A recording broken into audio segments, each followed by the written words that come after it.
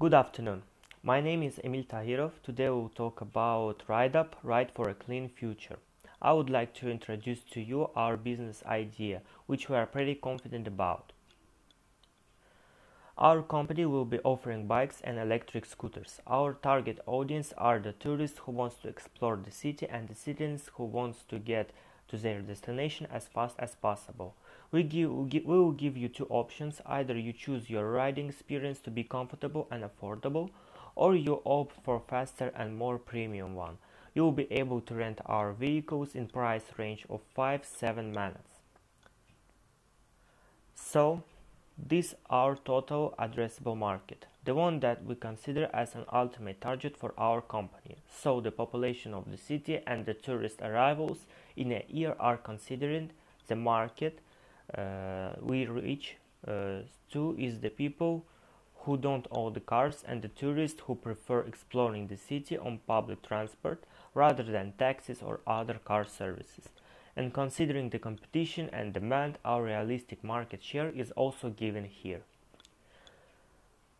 Uh, so, as you can see, our product stands out from the competitors in two ways. First of all, the dioxide carbon emissions are 63 times less, which is pretty amazing, and 1 kilowatt hour energy can carry a person and scooter 80 miles more than a car. So, not only you save nature, but also you travel more.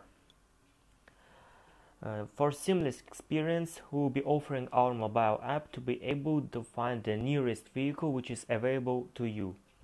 And as we talked before, you win so much when using our services, so this is a very compelling and tempting offer.